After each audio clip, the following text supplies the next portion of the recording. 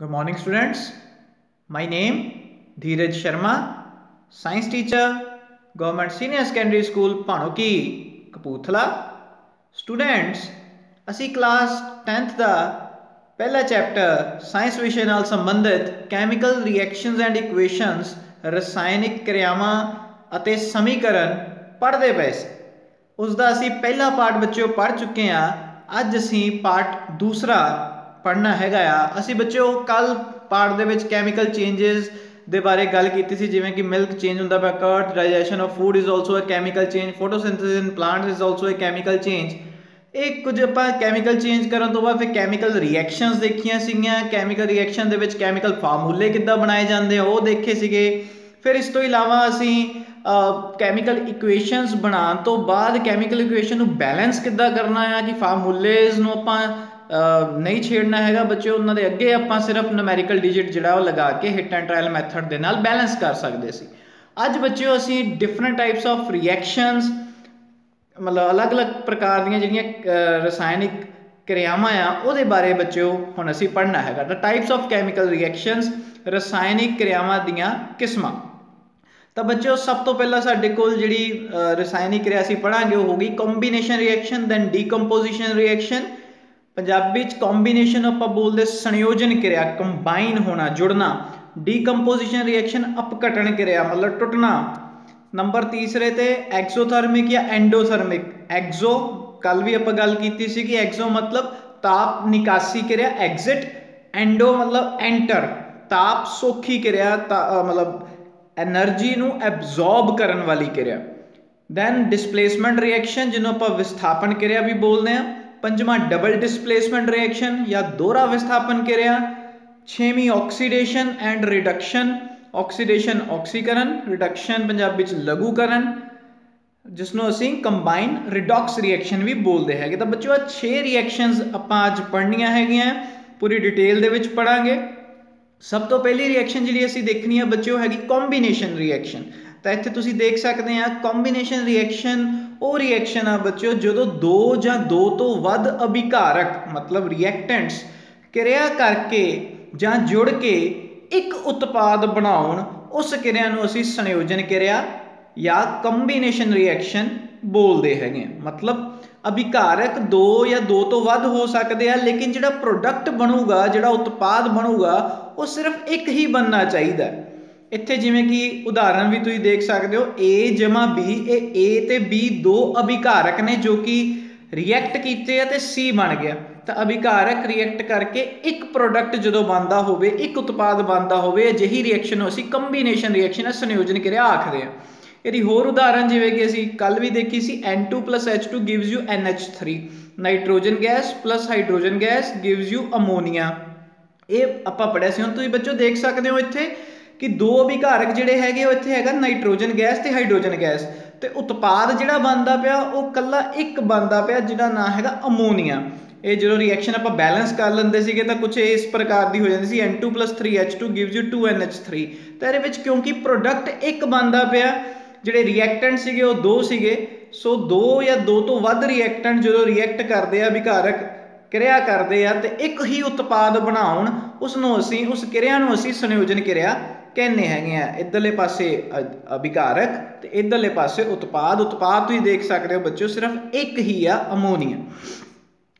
ਹੋਰ ਆਪਾਂ ਉਦਾਹਰਨ ਦੇਖੀਏ ਕੰਬੀਨੇਸ਼ਨ ਰਿਐਕਸ਼ਨ ਦੀ ਸੰਯੋਜਨ ਕਿਰਿਆ ਦੀ, ਤਾਂ ਇਹ ਤਾਂ ਤੁਸੀਂ ਪੜ੍ਹੇ ਚੁੱਕੇ ਹੋ ਕਿ ਜਦੋਂ ਦੋ ਜਾਂ ਦੋ ਤੋਂ ਵੱਧ ਅਭਿਕਾਰਕ ਕਿਰਿਆ ਕਰਕੇ ਜੁੜ ਕੇ ਇੱਕ ਉਤਪਾਦ ਬਣਾਉਣ, ਉਸ ਨੂੰ, ਉਸ ਕਿਰਿਆ ਨੂੰ ਅਸੀਂ ਸੰਯੋਜਨ ਕਿਰਿਆ ਜਾਂ ਕੰਬੀਨੇਸ਼ਨ ਰਿਐਕਸ਼ਨ ਬੱਚਿਓ ਬੋਲਦੇ ਆ ਜਿਵੇਂ ਕਿ magnesium plus oxygen gives you magnesium oxide ਕੱਲ ਵੀ ਆਪਾਂ ਇਹਦੇ ਬਾਰੇ ਚਰਚਾ ਵੀ ਕੀਤੀ ਸੀ। Magnesium plus oxygen gas gives you magnesium oxide 2mg O2 gives you 2mgO ਇੱਥੇ ਵੀ ਤੁਸੀਂ ਦੇਖ ਸਕਦੇ ਹੋ ਅਭਿਕਾਰਕ ਜਿਹੜੇ ਆ ਬੱਚਿਓ ਜਾਂ ਰਿਐਕਟੈਂਟ ਤੁਹਾਡੇ ਕੋਲ ਦੋ ਨੇ ਮੈਗਨੀਸ਼ੀਅਮ ਤੇ ਆਕਸੀਜਨ ਤੇ ਪ੍ਰੋਡਕਟ ਜਿਹੜਾ ਬਣਦਾ ਪਿਆ ਉਹ ਸਿਰਫ ਇੱਕ ਹੀ ਬਣਦਾ ਪਿਆ।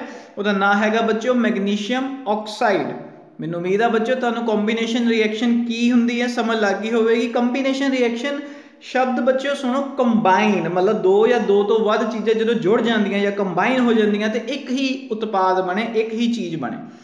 ਨੈਕਸਟ ਬੱਚਿਓ ਅਸੀਂ ਇਹਦੀ ਹੋਰ ਉਦਾਹਰਨ ਦੇਖਣ ਵਾਲੇ ਹਾਂ, ਜਿਵੇਂ ਕਿ ਬਰਨਿੰਗ ਆਫ ਕੋਲ ਕੋਇਲੇ ਦੇ ਵਿੱਚ ਜ਼ਿਆਦਾਤਰ ਬੱਚੋ ਕਾਰਬਨ ਹੀ ਹੁੰਦੀ ਹੈ ਤੇ ਕੱਲ ਵੀ ਦੱਸ ਚੁੱਕੇ ਸੀਗੇ ਕਿ ਜਦੋਂ ਵੀ ਕਿਸੇ ਚੀਜ਼ ਨੂੰ ਅੱਗ ਲਗਾਉਂਦੇ ਆ, ਤਾਂ ਆਕਸੀਜਨ ਜਿਹੜਾ ਆ, ਉਹ ਆਕਸੀਜਨ ਗੈਸ ਜਿਹੜੀ ਆ, ਉਹ ਸਪੋਰਟਰ ਆਫ ਦਾ ਕੰਬਸ਼ਨ ਬਿਨਾ ਆਕਸੀਜਨ ਗੈਸ ਦੀ ਮੌਜੂਦਗੀ ਵਿੱਚ ਤੁਸੀਂ 8ਵੀਂ ਕਲਾਸ 'ਚ ਕਿਰਿਆ ਵੀ ਕੀਤੀ ਹੋਈ ਆ ਕਿ ਅੱਗ ਜਿਹੜੀ ਆ, ਉਹ ਨਹੀਂ ਲੱਗ ਸਕਦੀ।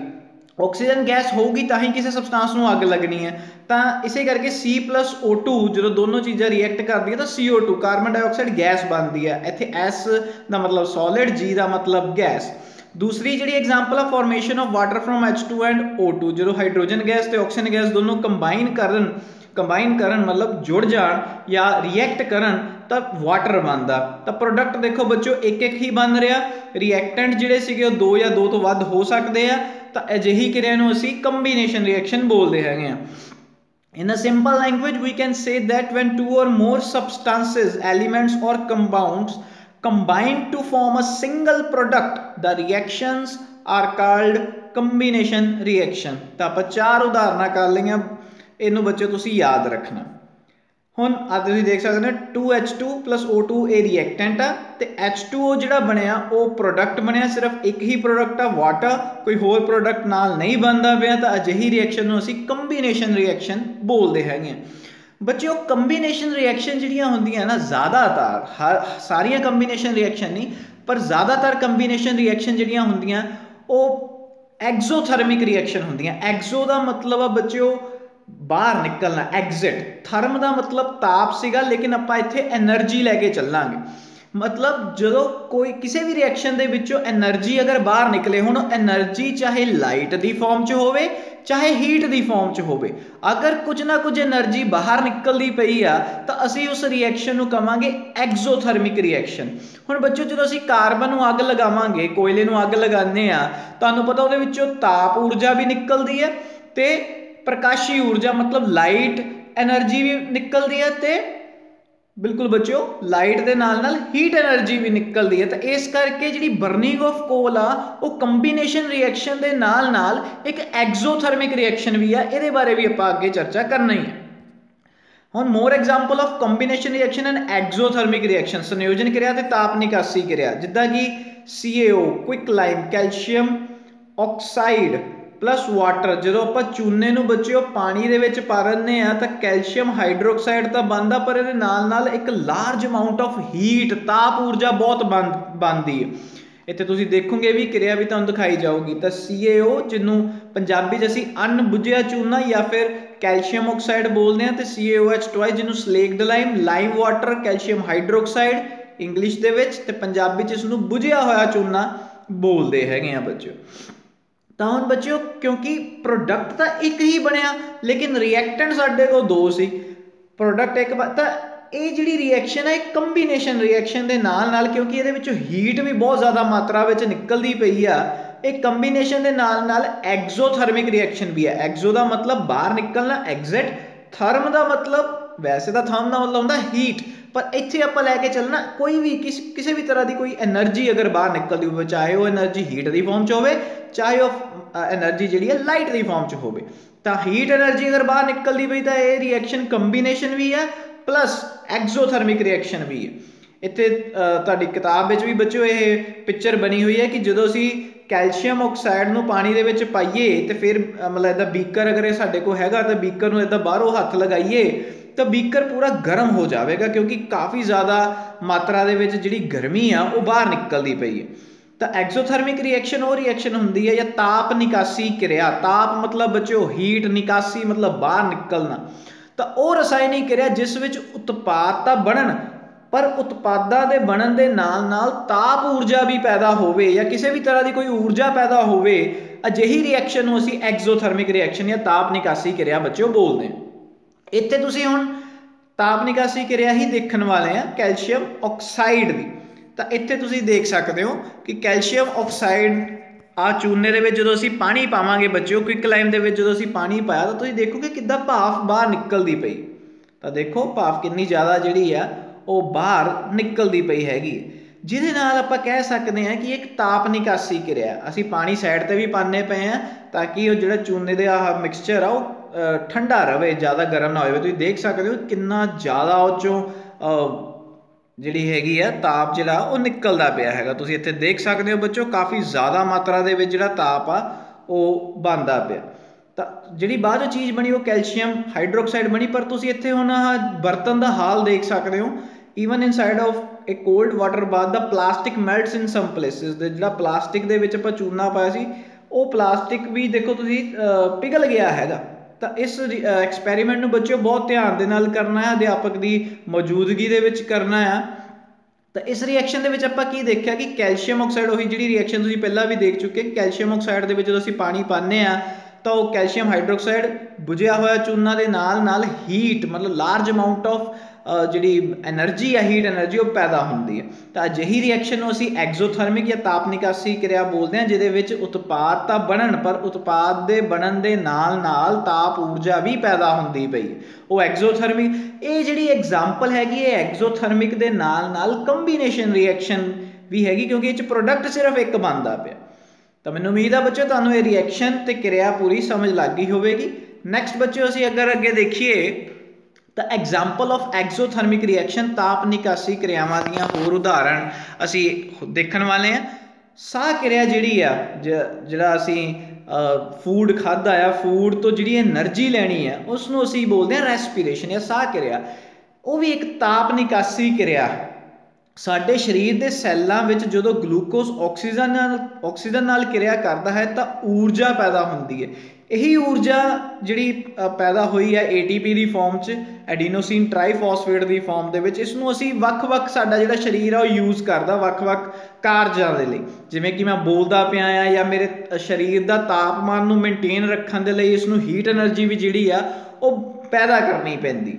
ਤਾਂ ਸਾਹ ਕਿਰਿਆ ਜਿਹੜੀ ਕਿ ਗਲੂਕੋਜ਼ ਪਲੱਸ ਆਕਸੀਜਨ ਕਿਉਂਕਿ ਅਸੀਂ ਜਦੋਂ ਸਾਹ ਲੈਂਦੇ ਆ, ਸਾਡੇ ਅੰਦਰ ਆਕਸੀਜਨ ਗੈਸ ਜਾਂਦੀ ਆ ਫੂਡ ਅਸੀਂ ਖਾਦਾ ਹੋਇਆ ਹੁੰਦਾ, ਤਾਂ ਫੂਡ ਦੇ ਵਿੱਚ glucose glucose plus oxygen give you CO2 ਆਪਾਂ ਨੋਜ਼ ਦੇ ਥਰੂ ਆਪਣੇ ਜਿਹੜੀ ਕਾਰਬਨ ਡਾਈਆਕਸਾਈਡ ਗੈਸ ਆ ਉਹ ਬਾਹਰ ਕੱਢ ਦਿੰਨੇ ਆ। ਵਾਟਰ ਵਾਟਰ ਅਗਰ ਸਾਡੀ ਬਾਡੀ ਦੇ ਵਿੱਚ ਕਮੀ ਆ, ਪਾਣੀ ਦੀ ਉਹ ਅਬਜ਼ੌਰਬ ਕਰ ਲਿਆ ਜਾਊਗਾ ਜਾਂ ਫਿਰ ਸਵੈਟ ਜਾਂ ਯੂਰੀਨ ਦੀ ਫਾਰਮ 'ਚ ਬਾਹਰ ਨਿਕਲ ਜਾਊਗਾ ਤੇ ਲਾਰਜ ਅਮਾਉਂਟ ਆਫ એનર્ਜੀ ਉਹੀ ATP ਦੀ ਫਾਰਮ ਦੇ ਵਿੱਚ ਜਿਹੜੀ એનર્ਜੀ ਉਹ ਪੈਦਾ ਹੁੰਦੀ ਆ। ਤੇ ਅਸੀਂ, ਕਿਉਂਕਿ ਇਸ ਰਿਐਕਸ਼ਨ ਇਹ ਰਿਐਕਸ਼ਨ ਜਿਹੜੀ ਹੈ ਕੰਬੀਨੇਸ਼ਨ ਰਿਐਕਸ਼ਨ ਤਾਂ ਨਹੀਂ ਹੈਗੀ, ਪਰ ਇਹ ਇੱਕ ਐਗਜ਼ੋਥਰਮਿਕ ਰਿਐਕਸ਼ਨ ਜ਼ਰੂਰ ਆ। ਕਿਉਂ? ਕਿਉਂਕਿ ਇਹਦੇ ਵਿੱਚ ਹੀਟ એનર્ਜੀ ਸੌਰੀ ਜਿਹੜੀ એનર્ਜੀ ਆ, ਉਹ ਬਾਹਰ ਨਿਕਲਦੀ ਪਈ ਹੈ ਤਾਂ ਬਰਨਿੰਗ ਆਫ ਨੈਚੁਰਲ ਗੈਸ ਅਗਰ ਤੁਸੀਂ ਨੈਚੁਰਲ ਗੈਸ ਤੁਹਾਨੂੰ ਪਤਾ ਹੋਵੇ CH4 ਜਿਹੜੀ ਹੈ ਬੱਚਿਓ ਮਿਥੇਨ ਬੋਲਦੇ ਆ ਬਾਇਓ ਗੈਸ ਵੀ ਬੋਲਦੇ ਆ ਇਹਨੂੰ, ਗੋਬਰ ਗੈਸ ਵੀ ਬੋਲਦੇ ਆ, ਸ਼ਾਇਦ ਤੁਸੀਂ ਨਾਮ ਸੁਣਿਆ ਵੀ ਹੋਵੇ। ਤਾਂ CH4 ਪਲੱਸ ਆਕਸੀਜਨ ਦੇ ਨਾਲ ਜਦੋਂ ਇਹ ਰਿਐਕਸ਼ਨ ਕਰਦੀ ਤਾਂ CO2 H2O ਤੇ large amount of heat is produced heat ਵੀ ਤੇ ਲਾਈਟ એનર્ਜੀ ਵੀ ਜਿਹੜੀ ਆ ਉਹ ਪੈਦਾ ਹੁੰਦੀ ਹੈ ਤਾਂ ਇਹ ਵੀ ਇਹਦੇ ਵਿੱਚ ਉਤਪਾਦ ਦੇਖੋ, ਦੋਨੋਂ ਕਿਰਿਆ ਦੇ ਵਿੱਚ ਉਤਪਾਦ ਦੇਖੋ। ਉਤਪਾਦ ਤਾਂ ਦੋ ਬਣਦੇ ਪਏ, ਕਾਰਬਨ ਡਾਈਆਕਸਾਈਡ ਤੇ ਵਾਟਰ। ਤਾਂ ਇਸ ਕਰਕੇ ਇਸ ਨੂੰ ਅਸੀਂ ਕੰਬੀਨੇਸ਼ਨ ਰਿਐਕਸ਼ਨ ਤਾਂ ਨਹੀਂ ਕਵਾਂਗੇ। ਲੇਕਿਨ ਇਹਦੇ ਵਿੱਚ એનર્ਜੀ ਪੈਦਾ ਹੋ ਰਹੀ ਹੈ, ਇਸ ਕਰਕੇ ਇਸ ਨੂੰ ਅਸੀਂ ਤਾਪ ਨਿਕਾਸੀ ਕਿਰਿਆ ਜ਼ਰੂਰ ਬੋਲ ਦਵਾਂਗੇ।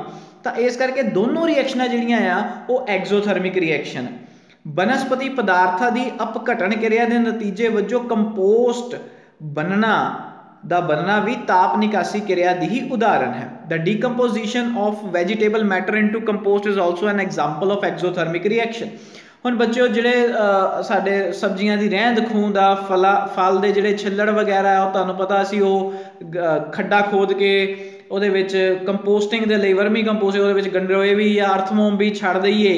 ਤਾਂ ਹੌਲੀ ਹੌਲੀ ਉਹਦਾ ਅਪਘਟਨ ਕਿਰਿਆ ਹੋ ਕੇ ਹੋ ਜਾਂਦੀ ਹੈ ਤੇ ਉਹ ਉਹਦਾ ਕੰਪੋਸਟ ਬਣ ਜਾਂਦਾ, ਮੱਲੜ ਬਣ ਜਾਂਦਾ, ਜਿਹਦੇ ਨਾਲ ਸਾਡੀ ਮਿੱਟੀ ਦੀ ਜਿਹੜੀ ਉਪਜਾਊ ਸ਼ਕਤੀ ਆ, ਉਹ ਹੋਰ ਜ਼ਿਆਦਾ ਵੱਧ ਜਾਂਦੀ ਹੈ। ਤਾਂ ਉਹ ਵੀ ਜਿਹੜੀ ਕਿਰਿਆ ਆ, ਉਹ ਵੀ ਇੱਕ ਤਾਪ ਨਿਕਾਸੀ ਕਿਰਿਆ, ਉਹ ਚੋਂ ਵੀ ਜਿਹੜਾ ਹੀਟ એનર્ਜੀ ਆ, ਉਹ ਪੈਦਾ ਹੁੰਦੀ ਹੋਏਗੀ ਬੱਚਿਓ। ਤਾਂ ਇਹ ਕੁਝ ਉਦਾਹਰਨਾਂ ਸੀਗੀਆਂ ਜਿਹੜਾ ਤੁਹਾਡੀ ਬੁੱਕ ਦੇ ਵਿੱਚ ਵੀ ਦਿੱਤੀਆਂ ਹੋਈਆਂ ਐਗਜ਼ੋਥਰਮਿਕ ਰਿਐਕਸ਼ਨ ਦੀਆਂ ਤੇ ਕੰਬੀਨੇਸ਼ਨ ਰਿਐਕਸ਼ਨ ਦੀਆਂ। ਅਗਲੀ ਜਿਹੜੀ ਆਪਾਂ ਬੱਚਿਓ ਰਿਐਕਸ਼ਨ ਪੜ੍ਹਨੀ ਆ ਨੰਬਰ 2 ਤੇ, ਉਹ ਹੈਗੀ ਡੀਕੰਪੋਜੀਸ਼ਨ ਰਿਐਕਸ਼ਨ ਅਪਘਟਨ ਕਿਰਿਆ। ਅਪਘਟਨ ਕਿਰਿਆ, ਬੱਚਿਓ, ਤਿੰਨ ਤਰ੍ਹਾਂ ਦੀ ਹੈ ਸਾਡੇ ਕੋਲ। ਥਰਮਲ ਡੀਕੰਪੋਜੀਸ਼ਨ ਜਿਹਨੂੰ ਆਪਾਂ ਕਹਿ ਦਈਏ ਤਾਪ ਅਪਘਟਨ ਕਿਰਿਆ। ਅਪਘਟਨ ਮਤਲਬ ਬੱਚਿਓ ਤੋੜਨਾ, ਕਿਸੇ ਵੀ ਚੀਜ਼ ਨੂੰ, ਕਿਸੇ ਵੀ ਅਭਿਕਾਰਕ ਨੂੰ ਤੋੜਨਾ। ਜਿਵੇਂ ਕਿ A ਆ, A ਨੂੰ ਆਪਾਂ ਤੋੜ ਕੇ B ਤੇ C ਦੇ ਵਿੱਚ ਕਨਵਰਟ ਕਰ ਲਿਆ। ਲੇਕਿਨ ਕੀ ਦੇ ਕੇ? ਤਾਪ ਦੇ ਕੇ ਕੋਈ ਨਾ ਕੋਈ ਊਰਜਾ ਜ਼ਰੂਰ ਦੇਣੀ ਪਊਗੀ। ਤਾਂ A converted to B C with the help of heat ਤਾਂ ਅਜਿਹੀ ਰਿਐਕਸ਼ਨ ਨੂੰ ਅਸੀਂ ਥਰਮਲ ਡੀਕੰਪੋਜੀਸ਼ਨ ਜਾਂ ਤਾਪ ਅਪਘਟਨ ਕਿਰਿਆ ਕਹਿ ਦਿੰਦੇ ਨੰਬਰ ਦੂਸਰੇ ਤੇ ਸਾਡੇ ਕੋਲ ਹੈਗਾ ਫੋਟੋ ਡੀਕੰਪੋਜੀਸ਼ਨ ਰਿਐਕਸ਼ਨ ਜਾਂ ਪ੍ਰਕਾਸ਼ੀ ਅਪਘਟਨ ਕਿਰਿਆ। ਪ੍ਰਕਾਸ਼ ਦੀ ਮਦਦ ਦੇ ਨਾਲ ਕਿਸੇ ਅਭਿਕਾਰਨ ਨੂੰ ਤੋੜ ਕੇ ਅਸੀਂ B ਤੇ C ਮਤਲਬ ਉਤਪਾਦ ਹੋਰ ਬਣਾਈਏ। ਇੰਜ ਹੀ ਸਾਡੇ ਕੋਲ ਜਿਹੜੀ ਤੀਸਰੀ ਅਪਘਟਨ ਕਿਰਿਆ ਉਹ ਹੈਗੀ ਇਲੈਕਟ੍ਰੀਕਲ ਡੀਕੰਪੋਜੀਸ਼ਨ ਜਾਂ ਜਿਹਨੂੰ ਅਸੀਂ ਇਲੈਕਟ੍ਰੋਲਾਈਸਿਸ ਵੀ ਬੋਲਦੇ ਹਾਂ ਬਿਜਲਈ ਅਪਘਟਨ ਕਿਰਿਆ। ਇਹਦੇ ਵਿੱਚ ਆਪਾਂ ਬਿਜਲੀ ਦੀ ਮਦਦ ਦੇ ਨਾਲ ਇਲੈਕਟ੍ਰੋਲਾਈਸਿਸ ਦਾ ਮਤਲਬ ਹੀ ਹੈ ਇਲੈਕਟ੍ਰੋ ਮਤਲਬ ਇਲੈਕਟ੍ਰਿਸਿਟੀ ਲਾਈਸਿਸ ਦਾ ਮਤਲਬ ਬ੍ਰੇਕਡਾਊਨ ਤੋੜਨਾ। ਤਾਂ ਬਿਜਲੀ ਦੀ ਮਦਦ ਦੇ ਨਾਲ ਜਿਹੜਾ ਸਾਡੇ ਕੋਲ A ਪ੍ਰੋਡਕਟ A ਰਿਐਕਟੈਂਟ ਆ, ਉਹਨੂੰ ਤੋੜ ਕੇ B ਤੇ C ਪ੍ਰੋਡਕਟ ਜਿਹੜੇ ਆ, ਉਹ ਬਣਾਣੇ ਤਾਂ ਇਹਦੇ ਵਿੱਚ ਬੱਚੋ ਤੁਸੀਂ ਦੇਖ ਸਕਦੇ ਆ ਕਿ ਜਿਹੜਾ ਅਭਿਕਾਰਕ ਆ, ਉਹ ਇੱਕ ਆ। ਤੇ ਜਿਹੜੇ ਸਾਡੇ ਕੋਲ ਪ੍ਰੋਡਕਟ ਬਣਦੇ ਪਏ ਆ, ਉਤਪਾਦ ਬਣਦੇ ਪਏ, ਉਹ ਦੋ ਜਾਂ ਦੋ ਨਾਲੋਂ ਜ਼ਿਆਦਾ ਹੋ ਸਕਦੇ ਆ। ਤਾਂ ਆਪਾਂ ਕਹਿ ਸਕਦੇ ਆ ਕਿ ਡੀਕੰਪੋਜੀਸ਼ਨ ਰਿਐਕਸ਼ਨ ਜਿਹੜੀ ਆ, ਉਹ ਕੰਬੀਨੇਸ਼ਨ ਰਿਐਕਸ਼ਨ ਦਾ ਬਿਲਕੁਲ ਉਲਟਾ ਆ। ਕਿਉਂ? ਕਿਉਂਕਿ ਉਹਦੇ ਵਿੱਚ ਰਿਐਕਟੈਂਟ ਸਾਨੂੰ ਦੋ ਜਾਂ ਦੋ ਨਾਲੋਂ ਜ਼ਿਆਦਾ ਚਾਹੀਦੇ ਹੁੰਦੇ ਆ ਤੇ ਪ੍ਰੋਡਕਟ ਉੱਥੇ ਬਣਦਾ ਸੀਗਾ ਸਿਰਫ ਇੱਕ। ਇੱਥੇ ਰਿਐਕਟੈਂਟ ਸਾਨੂੰ ਇੱਕ ਚਾਹੀਦਾ ਆ ਤੇ ਪ੍ਰੋਡਕਟ ਇੱਥੇ ਬਣਨਗੇ ਦੋ ਜਾਂ ਦੋ ਨਾਲੋਂ ਜ਼ਿਆਦਾ। ਤਾਂ ਇਹ ਦੂਸਰੀ ਗੱਲ ਕਿਉਂਕਿ ਇਹ ਸਾਰੀਆਂ ਆਪਾਂ ਜਿਹੜੀਆਂ ਰਿਐਕਸ਼ਨਾਂ ਕੀਤੀਆਂ ਥਰਮਲ ਹੋ ਜਾਵੇ, ਚਾਹੇ ਫੋਟੋ ਹੋ ਜਾਵੇ, ਚਾਹੇ ਇਲੈਕਟ੍ਰਿਕ ਹੋ ਜਾਵੇ, ਅਸੀਂ ਕੁਝ ਨਾ ਕੁਝ ਊਰਜਾ ਦਿੱਤੀ ਹੈ, ਚਾਹੇ ਉਹ ਤਾਪ ਊਰਜਾ ਦੀ ਫਾਰਮ 'ਚ ਦਿੱਤੀ, ਚਾਹੇ ਲਾਈਟ ਦੀ, ਚਾਹੇ ਆਪਾਂ ਬਿਜਲੀ ਦੀ ਫਾਰਮ 'ਚ ਦਿੱਤੀ ਹੈ, ਕਿਉਂਕਿ ਅਸੀਂ ਊਰਜਾ ਦਿੱਤੀ ਹੈ ਇਸ ਇਸ ਕਿਰਿਆ ਨੂੰ ਕਰਾਉਣ ਦੇ ਲਈ, ਤਾਂ ਅਜਿਹੀ ਕਿਰਿਆ ਨੂੰ ਅਸੀਂ ਐਂਡੋਥਰਮਿਕ ਜਾਂ ਫਿਰ ਤਾਪ ਸੋਖੀ ਕਿਰਿਆ ਵੀ ਕਹਿੰਦੇ ਤਾਂ ਡੀਕੰਪੋਜੀਸ਼ਨ ਕਿਰਿਆ ਹੈ ਕਿ ਜਿਸ ਕਿਰਿਆ ਵਿੱਚ ਇੱਕ ਅਭਿਕਾਰਕ ਦਾ ਅਪਘਟਨ ਕਰਕੇ ਦੋ ਜਾਂ ਦੋ ਤੋਂ ਵੱਧ ਉਤਪਾਦ ਪੈਦਾ ਹੋਣ ਅਜਿਹੀ ਕਿਰਿਆ ਨੂੰ ਅਪਘਟਨ ਕਿਰਿਆ ਕਹਿੰਦੇ ਹਨ। ਹੁਣ ਅਪਘਟਨ ਕਿਰਿਆ ਜਿਹੜੀ ਹੁੰਦੀ ਹੈ ਬੱਚਿਓ, ਤਾਪ ਸੋਖੀ ਕਿਰਿਆ ਹੁੰਦੀ ਹੈ। ਤਾਪ ਸਿਰਫ ਇੱਥੇ ਹੀਟ ਹੀ ਨਹੀਂ ਹੈਗਾ, ਇੱਥੇ ਆਪਾਂ એનર્ਜੀ ਜਿਹੜੀ ਆ ਉਹ ਐਬਜ਼ੌਰਬ ਹੁੰਦੀ ਪਈ ਹੈ એનર્ਜੀ ਤਿੰਨ ਤਰ੍ਹਾਂ ਦੀ ਇੱਥੇ ਆਪਾਂ ਦਿੰਨੇ ਪਏ ਆ, ਤਾਪ ਦੀ ਫਾਰਮ 'ਚ ਮਤਲਬ ਹੀਟ ਦੀ ਫਾਰਮ 'ਚ ਲਾਈਟ ਦੀ ਫਾਰਮ 'ਚ ਵੀ ਤੇ ਬਿਜਲੀ ਦੀ ਫਾਰਮ 'ਚ, ਇਹ ਆਪਾਂ ਅੱਗੇ ਵੀ ਦੇਖਾਂਗੇ। ਜਿਸ ਕਿਰਿਆ ਵਿੱਚ ਊਰਜਾ ਦਾ ਸੋਖਣ ਹੋ ਕੇ ਕੋਈ ਅਭਿਕਾਰਕ ਟੁੱਟ ਕੇ ਦੋ ਜਾਂ ਦੋ ਤੋਂ ਵੱਧ ਉਤਪਾਦ ਬਣਾਵੇ ਉਸ ਨੂੰ ਅਸੀਂ ਤਾਪ ਸੋਖੀ ਜਾਂ ਐਂਡੋਥਰਮਿਕ ਰਿਐਕਸ਼ਨ ਵੀ ਬੋਲਦੇ ਹਾਂ। ਤਾਪ ਨੂੰ ਜਿਹਨੇ ਸੋਖ ਲਿਆ, ਐਂਡੋਥਰਮਿਕ ਰਿਐਕਸ਼ਨ ਨੈਕਸਟ ਬੱਚੋ ਅਸੀਂ ਦੇਖਦੇ ਥਰਮਲ ਡੀਕੰਪੋਜੀਸ਼ਨ ਸਭ ਤੋਂ ਡੀਕੰਪੋਜੀਸ਼ਨ 'ਚ ਇਹ ਸਭ ਪਾਰਟ ਆ ਥਰਮਲ ਥਰਮਲ ਮਤਲਬ ਤਾਪ ਦੀ ਮਦਦ ਦੇ ਨਾਲ ਕਿਸੇ ਅਭਿਕਾਰਕ ਨੂੰ ਤੋੜ ਕੇ ਉਤਪਾਦ ਬਣਾਣੇ ਇੱਥੇ ਬੱਚੇ ਤੁਸੀਂ ਦੇਖ ਸਕਦੇ ਆ ਆਪਾਂ ਵੀਡੀਓ ਵੀ ਦੇਖਾਂਗੇ, ਤਾਂ ਆਪਾਂ ਕਰਨ ਕੀ ਲੱਗੇ ਸੀ? ਲੈਡ ਨਾਈਟ੍ਰੇਟ ਨੂੰ PbNO3 ਟਵਾਈਸ ਇਸ ਨੂੰ ਗਰਮ ਕਰਕੇ PbO ਬਣਾਏਗਾ ਲੈਡ ਆਕਸਾਈਡ NO2 ਬਣੇਗਾ ਨਾਈਟ੍ਰੋਜਨ ਡਾਈਆਕਸਾਈਡ ਜੋ ਕਿ ਭੂਰੇ ਰੰਗ ਦਾ ਬ੍ਰਾਊਨ ਫਿਊਮਸ ਨਿਕਲ, ਇੱਥੇ ਤੁਸੀਂ ਦੇਖ ਸਕਦੇ ਹੋ, ਇੱਥੇ ਆ ਜਿਹੜੇ ਬ੍ਰਾਊਨ ਰੰਗ ਦੇ ਫਿਊਮਸ ਨਿਕਲਦੇ ਪਏ ਫਿਊਮਸ ਮਤਲਬ ਜਿਹੜੇ ਵੇਪਰ ਨਿਕਲਦੇ ਪਏ ਆ, ਉਹ NO2 ਗੈਸ ਦਾ ਹੀ ਹੈ। ਤੇ ਆਕਸੀਜਨ ਗੈਸ ਵੀ ਨਿਕਲੇਗੀ O2 ਇਹੀ ਹੁਣ ਆਪਾਂ ਵੀਡੀਓ ਦੇਖਣੀ ਹੈ ਆਕਸੀਜਨ ਗੈਸ ਬੱਚੋ ਤੁਹਾਨੂੰ ਪਤਾ ਹੀ ਹੈ ਕਿ ਉਹ ਕੰਬਸ਼ਨ ਦਾ ਸਪੋਰਟਰ ਆ। ਅੱਗ ਲਗਾਉਣ 'ਚ ਉਹ ਹੈਲਪ ਕਰਦਾ। ਤਾਂ ਇੱਥੇ ਸਾਨੂੰ ਆਪਾਂ ਲੈਡ ਨਾਈਟ੍ਰੇਟ ਲਿਆ PbNO3 ਟਵਾਈਸ ਇਦਾਂ ਸਾਡੇ ਕੋਲ ਡੱਬੇ 'ਚ ਹੁੰਦਾ ਹੈ ਸਾਡੇ ਕੋਲ ਇਦਾਂ ਲੈਬੋਰਟਰੀਜ਼ ਦੇ ਵਿੱਚ ਸਾਡੇ ਕੋਲ ਬਰਨਰ ਹੈਗਾ ਆ test tube holder test tube spatula ਵਗੈਰਾ, ਇਹ ਸਾਰੀਆਂ ਚੀਜ਼ਾਂ ਬੱਚਿਓ ਸਾਡੇ ਕੋਲ ਮੌਜੂਦ ਹੁੰਦੀਆਂ ਲੈਬੋਰਟਰੀਜ਼ ਦੇ ਵਿੱਚ, ਤਾਂ ਅਸੀਂ ਕੀ ਕਰਨਾ ਹੈ ਕਿ ਥੋੜਾ ਜਿਹਾ ਸਪੈਚੂਲਾ ਦੀ ਮਦਦ ਦੇ ਨਾਲ ਅਸੀਂ ਥੋੜਾ ਜਿਹਾ PbNO3 ਟਵਾਈਸ ਮਤਲਬ ਲੈਡ ਨਾਈਟ੍ਰੇਟ ਨੂੰ ਆਪਣੀ ਟੈਸਟ ਟਿਊਬ ਦੇ ਵਿੱਚ ਪਾ ਲਿਆ। ਤੁਸੀਂ ਰੰਗ ਦੇਖ ਸਕਦੇ ਹੋ PbNO3 ਟਵਾਈਸ ਦਾ ਵਾਈਟਿਸ਼ ਕਲਰ ਦਾ ਹੁੰਦਾ ਬੱਚਿਓ ਇਹ। ਤਾਂ ਇੱਕ ਅਗਰ, ਅਗਰਬੱਤੀ ਲੈ ਲੈਣੀ ਹੈ। ਅਗਰਬੱਤੀ, ਉਹ ਤੁਹਾਨੂੰ ਦੱਸਾਂਗੇ ਕਿ ਉਹਦਾ ਉਪਯੋਗ ਕਿੱਥੇ ਹੋਣਾ ਜਾ ਕੇ। ਉਹ ਆਕਸੀਜਨ ਗੈਸ ਦੀ ਪ੍ਰੈਜ਼ੈਂਸ ਨੂੰ ਡਿਟੈਕਟ ਕਰਨ ਦੇ ਲਈ ਉਹ ਆਪਾਂ ਦੇਖਾਂਗੇ। ਹੁਣ PbNO3 ਟੁੱਟ ਕੇ PbO lead oxide NO2 nitrogen dioxide ਤੇ ਆਕਸੀਜਨ ਦੇ ਵਿੱਚ ਟੁੱਟੇਗੀ। ਆਕਸੀਜਨ ਗੈਸ ਜਿਹੜੀ ਉਹ ਅਗਰਬੱਤੀ ਨੂੰ ਜੇਕਰ ਉਹ ਹਲਕੀ ਜਿਹੀ ਜਲਦੀ ਹੋਊਗੀ ਨਾ, ਤਾਂ ਉਸ ਨੂੰ ਬ੍ਰਾਈਟ ਜਲਾਉਣ 'ਚ ਹੈਲਪ ਕਰੂਗੀ। ਤੁਸੀਂ ਦੇਖੋਗੇ, ਤਾਂ PB NO3 ਟਵਾਈਸ ਨੂੰ ਅਸੀਂ ਟੈਸਟ ਟਿਊਬ 'ਚ ਪਾ ਕੇ ਹੁਣ ਅਸੀਂ ਉਸ ਨੂੰ ਹੀਟ ਕਰਨਾ ਸ਼ੁਰੂ ਕੀਤਾ ਆ। ਥਰਮਲ ਡੀਕੰਪੋਜੀਸ਼ਨ ਕਰਨ ਲੱਗ ਗਏ। ਤਾਂ ਤੁਸੀਂ ਦੇਖੋਗੇ, ਹੌਲੀ ਹੌਲੀ ਹੌਲੀ ਇਹਨੂੰ ਜਦੋਂ ਅਸੀਂ ਗਰਮ ਕਰਦੇ ਪਏ ਆ, ਤਾਂ ਇਹਦਾ ਜਿਹੜਾ ਰੰਗ ਆ, ਉਹ ਬਦਲਣਾ ਸ਼ੁਰੂ ਹੋ ਜਾਣਾ। ਜਿੱਦਾਂ ਜਿੱਦਾਂ ਇਸ ਨੂੰ ਹੀਟ ਕਰਾਵਾਂਗੇ। ਦੂਸਰੇ ਪਾਸੇ ਅਸੀਂ ਆਪਣੀ ਜਿਹੜੀ ਅਗਰਬੱਤੀ ਹੈ ਉਸ ਨੂੰ ਵੀ ਥੋੜਾ ਜਿਹਾ ਜਲਾ ਕੇ ਉਸ ਨੂੰ ਬੁਝਾ ਲੈਣਾ ਹੈਗਾ।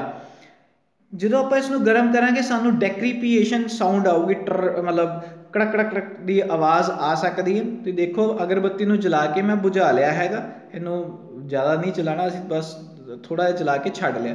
ਤਾਂ ਤੁਸੀਂ ਦੇਖੋਗੇ ਜਿਹੜਾ ਵਾਈਟ ਰੰਗ ਸੀਗਾ, ਹੁਣ ਉਹ ਬ੍ਰਾਊਨਿਸ਼ ਜਿਹਾ ਹੋ ਲੱਗ ਗਿਆ।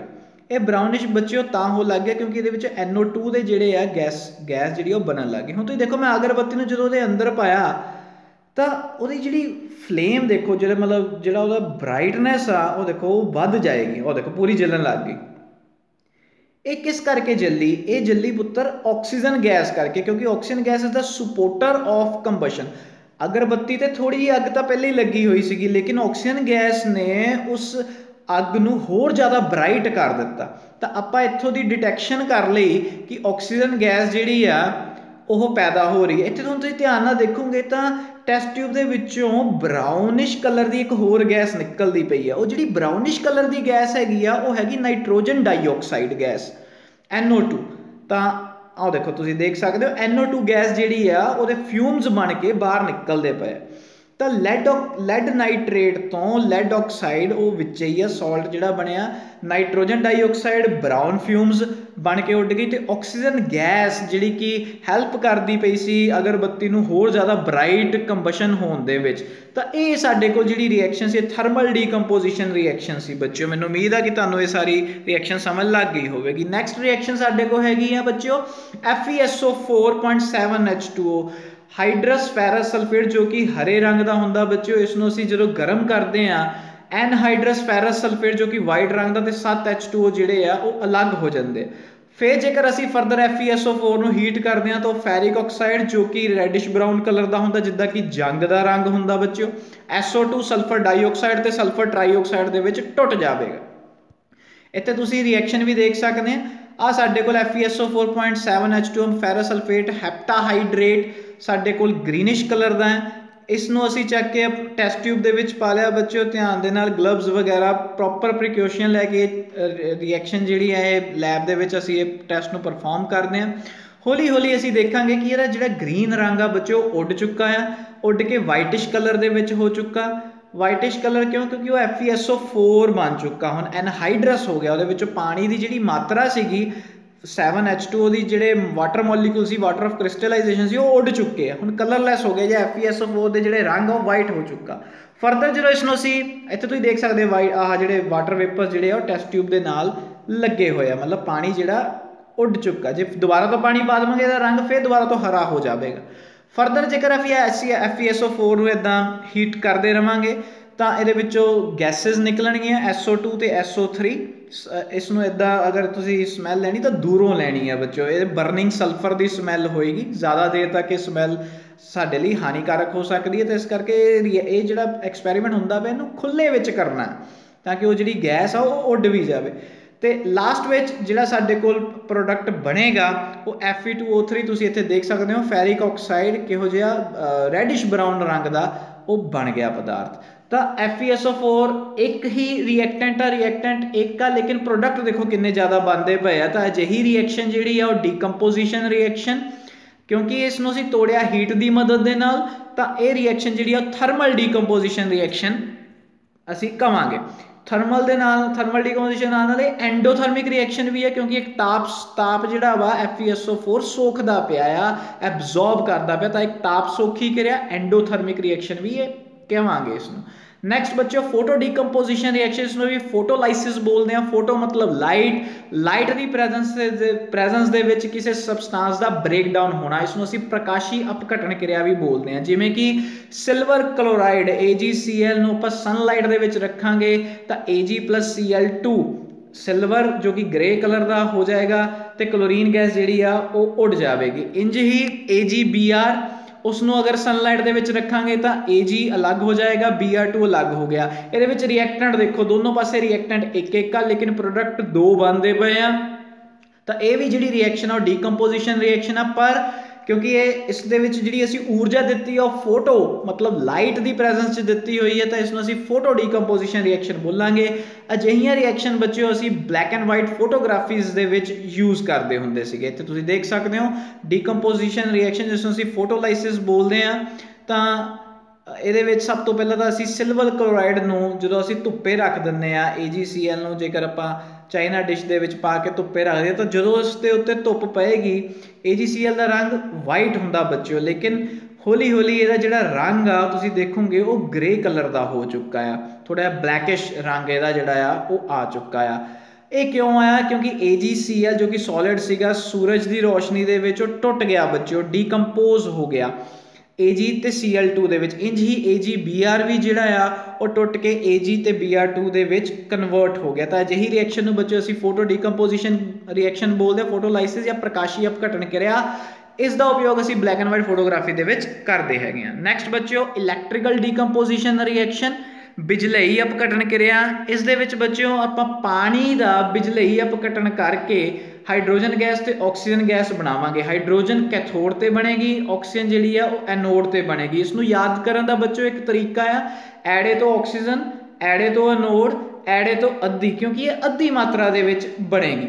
ਹਾਈਡਰੋਜਨ ਗੈਸ ਆਕਸੀਜਨ ਗੈਸ ਤੋਂ ਦੁੱਗਣੀ ਮਾਤਰਾ ਵਿੱਚ ਉਤਪਨ ਹੁੰਦੀ ਹੈ, ਭਾਵ 2:1 ਮਤਲਬ ਹਾਈਡਰੋਜਨ ਦੁੱਗਣੀ ਤੇ ਆਕਸੀਜਨ ਅੱਧੀ। ਤੁਸੀਂ ਜਦੋਂ ਰਿਐਕਸ਼ਨ ਨੂੰ ਬੈਲੈਂਸ ਵੀ ਕਰੋਗੇ ਤਾਂ H2 ਦੇ ਮੋਰੇ 2 ਲੱਗਾ ਹੋਇਆ, ਮਤਲਬ ਹਾਈਡਰੋਜਨ ਦੁੱਗਣੀ ਮਾਤਰਾ 'ਚ ਬਣਦੀ ਪਈ, ਲੇਕਿਨ ਆਕਸੀਜਨ ਜਿਹੜੀ ਆ ਉਹ ਸਿੰਗਲ ਅਮਾਉਂਟ 'ਚ ਹੀ ਬਣਦੀ ਵੀ ਇੱਥੇ ਤੁਸੀਂ ਰਿਐਕਸ਼ਨ ਵੀ ਦੇਖ ਸਕਦੇ ਹੋ ਇਲੈਕਟ੍ਰੋਲਾਈਸਿਸ ਆਫ ਵਾਟਰ ਪਾਣੀ ਨੂੰ ਅਸੀਂ ਬਿਜਲੀ ਦੀ ਮਦਦ ਨਾਲ ਤੋੜਦੇ ਪਏ ਆ ਤਾਂ ਇਸ ਦੇ ਵਿੱਚ ਸੈਟਅਪ ਕੁਝ ਅਸੀਂ ਇਸ ਤਰੀਕੇ ਨਾਲ ਕੀਤਾ ਹੋਇਆ ਕਿ ਇਲੈਕਟ੍ਰੋਡਸ ਲਗਾਈਆਂ ਹੋਈਆਂ ਬੈਟਰੀ ਦਾ ਪੋਜ਼ਿਟਿਵ ਟਰਮੀਨਲ ਤੇ 네ਗੇਟਿਵ ਟਰਮੀਨਲ ਦੇ ਨਾਲ। ਜਿਹੜਾ ਤਾਂ ਪੋਜ਼ਿਟਿਵ ਟਰਮੀਨਲ ਆ, ਉਸ ਰੋਡ ਨੂੰ ਆਪਾਂ ਬੋਲਾਂਗੇ ਐਨੋਡ ਜਿਹੜਾ 네ਗੇਟਿਵ ਟਰਮੀਨਲ ਆ ਉਸ ਨੂੰ ਅਸੀਂ ਬੋਲਾਂਗੇ ਕੈਥੋਡ ਤਾਂ ਐਨੋਡ ਵਾਲੀ ਸਾਈਡ ਤੋਂ ਆਕਸੀਜਨ ਗੈਸ ਬਣੇਗੀ ਤੇ ਕੈਥੋਡ ਵਾਲੀ ਸਾਈਡ ਹਾਈਡਰੋਜਨ ਗੈਸ ਬਣੇਗੀ। ਅਸੀਂ ਪਾਣੀ ਦੇ ਨਾਲ ਨਾਲ ਥੋੜਾ ਜਿਹਾ ਐਸਿਡ ਇਹਦੇ ਵਿੱਚ ਪਾ ਦੇਣਾ ਹੈਗਾ ਤਾਂ ਕਿ ਕਿਉਂਕਿ ਪਾਣੀ ਜਿਹੜਾ ਬੱਚਿਓ, ਉਹ ਇੱਕ ਬੈਡ ਕੰਡਕਟਰ ਆਫ ਇਲੈਕਟ੍ਰਿਸਿਟੀ ਹੁੰਦਾ ਹੈ। ਤਾਂ ਉਸ ਨੂੰ ਇੱਕ ਚੰਗਾ ਕੰਡਕਟਰ ਬਣਾਉਣ ਦੇ ਲਈ, ਚਾਲਕ ਵਧੀਆ ਬਣਾਉਣ ਦੇ ਲਈ ਉਸ ਦੇ ਵਿੱਚ ਥੋੜਾ ਜਿਹਾ ਐਸਿਡ ਜ਼ਰੂਰ ਪਾ ਦੇਣਾ ਹੈਗਾ। ਫਿਰ ਅਸੀਂ ਟੈਸਟ ਟਿਊਬ ਪੂਰੀ ਭਰ ਕੇ ਉਸ ਨੂੰ ਇਨਵਰਟ ਕਰਕੇ ਤਾਂ ਕਿ ਉਹਦੇ ਵਿੱਚ ਕੋਈ 에ਅਰ ਬਬਲ ਨਾ ਆਵੇ, ਆਪਣੀ ਇਲੈਕਟ੍ਰੋਡਸ ਦੇ ਉੱਪਰ ਟਿਕਾ ਲੈਣੀਆਂ ਹੈਗੀਆਂ। ਹੌਲੀ ਹੌਲੀ ਜਦੋਂ ਅਸੀਂ ਰਿਐਕਸ਼ਨ ਹੋਣ ਦਵਾਂਗੇ ਤਾਂ ਗੈਸਸ ਬਣਨੀਆਂ ਸ਼ੁਰੂ ਹੋ ਜਾਣੀਆਂ। ਗੈਸਸ ਜਿਹਦੇ ਵਿੱਚ ਦੁੱਗਣੀ ਮਾਤਰਾ ਵਿੱਚ ਖਾਲੀ ਜਗ੍ਹਾ ਹੋ ਗਈ ਉਸ ਨੂੰ ਅਸੀਂ ਬੋਲਾਂਗੇ ਕਿ ਉੱਥੇ ਹਾਈਡਰੋਜਨ ਆ, ਮਤਲਬ ਕੈਥੋਡ ਵਾਲੀ ਸਾਈਡ ਹਾਈਡਰੋਜਨ ਹੋਏਗੀ, ਹਾਈਡਰੋਜਨ। ਤੇ ਦੂਸਰੇ ਵਾਲੇ ਪਾਸੇ ਜਿੱਧਰ ਅਮਾਉਂਟ ਘੱਟ ਆ, ਤੁਸੀਂ ਦੇਖੋ ਇੱਧਰਲੇ ਪਾਸੇ ਖਾਲੀ ਜਗ੍ਹਾ, ਜਿੱਧਰ ਜ਼ਿਆਦਾ ਹੈ ਉਧਰ ਹਾਈਡਰੋਜਨ ਆ, ਜਿੱਧਰ ਅੱਧੀ ਆ ਅਮਾਉਂਟ ਉਧਰ ਐੜੇ ਤੋਂ ਅੱਧੀ, ਐੜੇ ਤੋਂ ਨੋਡ ਐੜੇ ਤੋਂ ਆਕਸੀਜਨ ਗੈਸ ਆ। ਨੋਡ ਪੋਜ਼ਿਟਿਵ ਚਾਰਜ ਹੁੰਦੀ ਆ ਤੇ ਐੜੇ ਤੋਂ ਆਕਸੀਜਨ ਹੁਣ ਜਿਹੜੀ ਆਕਸੀਜਨ ਗੈਸ ਦੀ ਜੇਕਰ ਅਸੀਂ ਟੈਸਟ ਕਰਨਾ ਤਾਂ ਉਹਦੇ ਮੂਰੇ ਅਗਰ ਅਸੀਂ ਉਹੀ ਜੇ ਅਗਰਬੱਤੀ ਲੈ ਜਾਈਏ ਤਾਂ ਅਗਰਬੱਤੀ ਜਿਹੜੀ ਆ ਉਹ ਸਾਡੀ ਉਹ ਬ੍ਰਾਈਟ ਫਲੇਮ ਹੋ ਜਾਂਦੀ ਆ, ਤਾਂ ਸਾਨੂੰ ਪਤਾ ਚੱਲ ਜਾਏਗਾ ਕਿ ਉਹ ਆਕਸੀਜਨ ਗੈਸ ਆ। ਤੇ ਹਾਈਡਰੋਜਨ ਗੈਸ ਦੀ ਅਗਰ ਪ੍ਰੈਜ਼ੈਂਸ ਅਸੀਂ ਦੇਖਣੀ ਆ, ਤਾਂ ਉਸ ਦੇ ਮੋਰੇ ਜੇਕਰ ਅਸੀਂ ਮੈਚ ਸਟਿਕ ਲੈ ਕੇ ਜਾਵਾਂਗੇ, ਤਾਂ ਉਹ ਇੱਕ ਪੌਪ ਸਾਊਂਡ ਦੇ ਨਾਲ ਜਿਹੜੀ ਆ, ਉਹ ਬਰਨ ਕਰੇਗੀ, ਆਵਾਜ਼ ਆਏਗੀ ਪੌਪ ਸਾਊਂਡ ਦੀ। ਹੋ ਸਕਦਾ ਤੁਹਾਨੂੰ ਬਲੂ ਫਲੇਮ ਵੀ ਨਜ਼ਰ ਆ ਜਾਵੇ। ਮੈਨੂੰ ਉਮੀਦ ਆ ਬੱਚਿਓ ਤੁਹਾਨੂੰ ਇਹ ਇਲੈਕਟ੍ਰੀਕਲ ਡੀਕੰਪੋਜੀਸ਼ਨ ਰਿਐਕਸ਼ਨ ਵੀ ਸਮਝ ਲੱਗ ਗਈ ਹੋਵੇਗੀ। ਨੈਕਸਟ ਹੈ ਕਿ ਬੱਚਿਓ ਸਾਡੇ ਕੋ ਡਿਸਪਲੇਸਮੈਂਟ ਰਿਐਕਸ਼ਨ ਜਿਹਦੇ ਵਿੱਚ Fe CuSO4 give you FeSO4 Cu ਲੋਹਾ ਜਿਹੜਾ ਆ ਕਾਪਰ ਸਲਫੇਟ ਦੇ ਵਿੱਚੋਂ ਕਾਪਰ ਨੂੰ ਵਿਸਥਾਪਿਤ ਕਰਕੇ ਆਪ ਕਾਪਰ ਦੀ ਜਗ੍ਹਾ ਤੇ ਆ ਚੁੱਕਾ FeSO4 Cu ਕਾਪਰ ਸਲਫੇਟ ਜਿਹੜਾ ਹੁੰਦਾ ਬਲੂ ਕਲਰ ਦਾ FeSO4 ਜਿਹੜਾ ਹੁੰਦਾ ਬੱਚਿਓ ਗ੍ਰੀਨ ਕਲਰ ਦਾ ਹੁੰਦਾ। ਆਇਰਨ ਨੇ ਕਾਪਰ ਨੂੰ ਕੀ ਕੀਤਾ ਬੱਚਿਓ? ਵਿਸਥਾਪਿਤ ਕਰ ਦਿੱਤਾ। ਕਿਉਂ? ਕਿਉਂਕਿ ਜਿਹੜਾ ਲੋਹਾ ਆ, ਉਹ ਤਾਂਬੇ ਨਾਲੋਂ ਜ਼ਿਆਦਾ ਕਿਰਿਆਸ਼ੀਲ ਆ। ਜ਼ਿਆਦਾ ਕਿਰਿਆਸ਼ੀਲ ਹੋਣ ਕਾਰਨ ਤਾਂਬੇ ਨੂੰ ਉਸਦੇ ਘੋਲ ਦੇ ਵਿੱਚੋਂ, ਮਤਲਬ ਕਾਪਰ ਸਲਫੇਟ ਦੇ ਵਿੱਚੋਂ ਲੋਹੇ ਨੇ ਵਿਸਥਾਪਿਤ ਕਰ ਦਿੱਤਾ। ਇੱਥੇ ਤੁਸੀਂ ਰਿਐਕਸ਼ਨ ਵੀ ਦੇਖ ਸਕਦੇ ਹੋ। ਆਪਾਂ ਕਾਪਰ ਸਲਫੇਟ ਦਾ ਸੋਲੂਸ਼ਨ ਆਪਣੇ ਕੋਨਿਕਲ ਫਲਾਕਸ ਦੇ ਵਿੱਚ ਪਾ ਲਿਆ। ਕੋਨਿਕਲ ਫਲਾਕਸ ਚ ਪਾਉਣ ਤੋਂ ਬਾਅਦ ਬੱਚਿਓ, ਅਸੀਂ ਉਸ ਦੇ ਵਿੱਚ ਇਦਾਂ ਆਇਰਨ ਨੇਲ ਜਿਹੜੀ ਸੀਗੀ ਸਾਡੇ ਕੋਲ ਉਸ ਨੂੰ ਧਾਗੇ ਦੀ ਮਦਦ ਦੇ ਨਾਲ ਆਇਰਨ ਮਤਲਬ ਇਹ ਲੋਹਾ ਹੋ ਗਿਆ, ਲੋਹੇ ਨੂੰ ਅਸੀਂ ਧਾ ਉਹਦੇ ਵਿੱਚ ਕਾਪਰ ਸਲਫੇਟ ਸੋਲੂਸ਼ਨ ਦੇ ਵਿੱਚ ਪਾ ਦਿੱਤਾ। ਫਿਰ ਕੁਝ ਥੋੜੀ ਟਾਈਮ ਬਾਅਦ ਉਹ ਰਿਐਕਸ਼ਨ ਹੋਣ ਦਿੱਤੀ ਤਾਂ ਤੁਸੀਂ ਦੇਖ ਸਕਦੇ ਹੋ, ਪਹਿਲਾ ਰੰਗ ਉਹਦਾ ਸੀਗਾ ਪਹਿਲਾ ਰੰਗ ਤੁਸੀਂ ਦੇਖ ਸਕਦੇ ਹੋ ਬਲੂ ਕਲਰ ਦਾ ਸੀਗਾ ਕਾਪਰ ਸਲਫੇਟ ਦਾ। 24 ਘੰਟਿਆਂ ਬਾਅਦ ਜਿਹੜਾ ਉਹਦਾ ਰੰਗ ਸੀਗਾ, ਉਹ ਗ੍ਰੀਨ ਕਲਰ ਦਾ ਹੋ ਚੁੱਕਾ। ਤੇ ਜਿਹੜੀ ਨੇਲ ਆ, ਉਹਦੇ ਉੱਤੇ ਤਾਂਬਾ ਚਿਪਕ ਚੁੱਕਾ, ਤਾਂ ਹੀ ਨੇਲ ਦਾ ਰੰਗ ਜਿਹੜਾ ਆ, ਉਹ ਬ੍ਰਾਊਨਿਸ਼ ਕਲਰ ਦਾ ਹੋ ਚੁੱਕਾ ਹੈ। ਤਾਂ ਇਹ ਬੱਚਿਓ, ਤੁਸੀਂ ਪਹਿਲਾ ਫ਼ਰਕ ਦੇਖ ਸਕਦੇ ਹੋ, ਪਹਿਲਾ ਫ਼ਰਕ ਕੀ ਸੀਗਾ ਤੇ ਹੁਣ ਕੀ ਹੈ? ਫਿਰ ਜਦੋਂ ਅਸੀਂ ਬਾਹਰ ਕੱਢ ਲਵਾਂਗੇ ਤਾਂ ਸਾਨੂੰ ਇਦਾਂ ਨੇਲ ਦਾ ਤੁਸੀਂ ਰੰਗ ਵੀ ਦੇਖ ਸਕਦੇ ਹੋ ਕਿ ਉਹ ਕਿਉਂਕਿ ਉਹਦੇ ਉੱਤੇ ਜਿਹੜਾ ਕਾਪਰ ਆ, ਉਹ ਚਿਪਕ ਚੁੱਕਾ ਹੈਗਾ। ਤਾਂ ਇਹਦੇ ਵਿੱਚ ਹੁੰਦਾ ਕੀ ਪਿਆ ਕਿ A BC ਤਾਂ ਜੇਕਰ A ਜ਼ਿਆਦਾ ਰਿਐਕਟਿਵ ਆ B ਮੈਟਲ ਤੋਂ, ਤਾਂ A ਨੇ B ਨੂੰ ਰਿਪਲੇਸ ਕਰਤਾ, B ਇਕੱਲਾ ਹੋ ਗਿਆ ਤੇ A ਜਿਹੜੀ ਆ ਉਹ C ਦੇ ਨਾਲ ਬੈਠ ਚੁੱਕੀ ਹੈ ਇਹੀ ਰਿਐਕਸ਼ਨ ਇੱਥੇ ਤੁਹਾਨੂੰ ਸਮਝਾਈ ਗਈ ਹੈ। ਤਾਂ ਇਹ ਵਿਸਥਾਪਨ ਕਿਰਿਆ ਦੀ ਉਦਾਹਰਨ ਸੀ ਬੱਚੇ ਹੋਰ ਇਹਦੀ ਵਿਸਥਾਪਨ ਕਿਰਿਆ ਦੀ ਉਦਾਹਰਨ ਤੁਸੀਂ ਆਪਣੀ ਬੁੱਕ 'ਚੋਂ ਦੇਖ ਸਕਦੇ ਹੋ। ਜ਼ਿੰਕ ਜਿਹੜਾ ਕਾਪਰ ਨਾਲੋਂ ਜ਼ਿਆਦਾ ਰਿਐਕਟਿਵ ਹੋਣ ਕਰਕੇ ਜ਼ਿੰਕ ਨੇ ਕਾਪਰ ਸਲਫੇਟ ਨੂੰ ਆਪਣੇ ਸੋਲੂਸ਼ਨ ਚੋਂ ਹਟਾ ਕੇ ZnSO4 Cu ਬਣ ਗਿਆ। ਜ਼ਿੰਕ ਸਲਫੇਟ ਜਿਹੜਾ ਹੁੰਦਾ ਸੋਲੂਸ਼ਨ ਉਹ ਕਲਰਲੈਸ ਹੁੰਦਾ। ਕਾਪਰ ਸਲਫੇਟ ਦਾ ਜਿਹੜਾ ਸੋਲੂਸ਼ਨ ਸੀਗਾ ਉਹ ਬਲੂ ਰੰਗ ਦਾ ਸੀਗਾ। ਇਹਦੀ Pb CuCl2 ਲੈਡ ਜਿਹੜਾ ਬੱਚਿਓ ਫਿਰ ਕਾਪਰ ਨਾਲੋਂ ਜ਼ਿਆਦਾ ਕਿਰਿਆਸ਼ੀਲ ਹੋਣ ਕਰਕੇ ਕਾਪਰ ਨੂੰ ਫਿਰ ਵਿਸਥਾਪਿਤ ਕਰਕੇ PbCl2 ਤੇ ਕਾਪਰ ਦੇ ਵਿੱਚ ਤਬਦੀਲ ਹੋ ਗਿਆ। ਨੈਕਸਟ ਸਾਡੇ ਕੋਲ ਹੈਗੀ ਬੱਚਿਓ ਡਬਲ ਡਿਸਪਲੇਸਮੈਂਟ ਰਿਐਕਸ਼ਨ ਦੋਹਰਾ ਵਿਸਥਾਪਨ ਕਿਰਿਆ। ਇਹਦੇ ਵਿੱਚ AB CD gives you AD CB A ਜਿਹੜਾ ਸੀਗਾ ਬੱਚੋ ਇਹ ਚ ਆਇਨਸ ਬਣ ਜਾਂਦੇ, ਇਸ ਕਰਕੇ A C ਦੀ ਜਗ੍ਹਾ ਤੇ ਜਾਂ C, B ਦੀ ਜਗ੍ਹਾ ਤੇ ਚਲਾ ਗਿਆ। ਜਿੱਦਾਂ ਕਿ sodium sulphate plus barium chloride ਉਹ ਬਣ ਗਿਆ ਬੇਰੀਅਮ ਸਲਫੇਟ ਪਲੱਸ 2NaCl ਇਹਦੇ ਵਿੱਚ ਬੱਚਿਓ ਵਾਈਟ ਪ੍ਰੈਸੀਪੀਟੇਟ ਵੀ ਬਣਦੇ ਆ, ਅਵਖੇਪਣ ਕਿਰਿਆ ਹੁੰਦੀ ਆ, ਜਿਹਦੇ ਵਿੱਚ ਬੇਰੀਅਮ ਸਲਫੇਟ ਦੇ ਚਿੱਟੇ ਰੰਗ ਦੇ ਪ੍ਰੈਸੀਪੀਟੇਟ ਜਿਹੜੇ ਆ, ਉਹ ਬਣ ਜਾਂਦੇ ਆ ਸਾਡੇ ਕੋਲ ਬੱਚਿਓ। ਮੈਨੂੰ ਉਮੀਦ ਆ ਬੱਚਿਓ, ਤੁਹਾਨੂੰ ਇਹ ਚੈਪਟਰ ਇਹ ਰਿਐਕਸ਼ਨਸ ਸਮਝ ਲੱਗ ਗਈਆਂ ਹੋਣਗੀਆਂ। ਥੈਂਕ ਯੂ ਬੱਚਿਓ।